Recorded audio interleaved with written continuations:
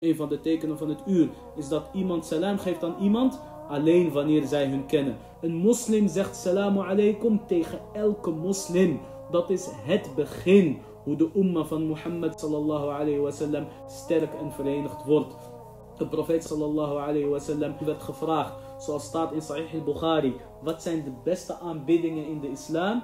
De profeet sallallahu alayhi wasallam zei, het voeden van de armen.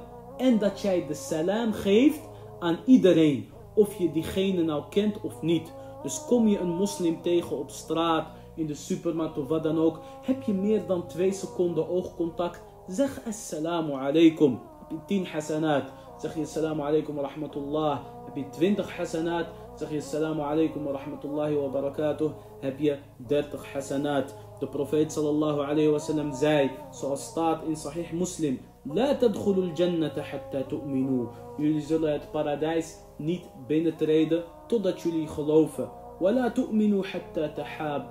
En jullie zullen niet geloven totdat jullie van elkaar zullen houden. Awala adullukum ala shay'in idha fa'altumuhu tahabbtum. Zal ik jullie niet iets leren? Als jullie dit doen, dan zullen jullie van elkaar houden.